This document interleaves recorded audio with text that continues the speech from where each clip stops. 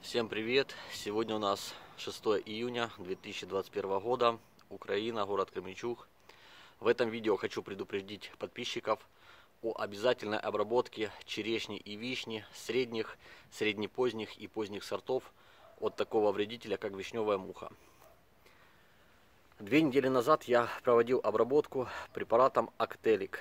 Этот препарат я вложил 12 мл на 10 литров воды и проводил тщательную обработку по плодам и листьям. Прошло две недели, смотрю, все чисто, все хорошо, но сегодня заметил активный лед вишневой мухи.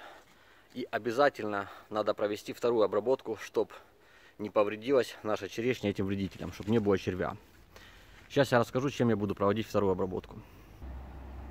Вторую обработку буду проводить препаратом Прованта Вернал. Этот препарат я буду ложить 2 мл на 10 литров воды и проводить тщательное опрыскивание по плодам и листьям. У нас передают дожди с завтрашнего дня. Я смотрю, он уже тучи заходят, но все-таки надо провести обработку, потому что за неделю я не смогу обработать из-за обильных осадков. Также самое можно обработать препаратом, таким как Proclaim, он отлично работает по вишневой мухе, препаратом Ampligo, препаратом Мачт, то есть любым препаратом, который работает от грязуще-сосущих вредителей, в том числе вишневой мухи. Кому это видео было полезно, ставьте, пожалуйста, лайк, подписывайтесь на канал. Всем спасибо за внимание, всем пока.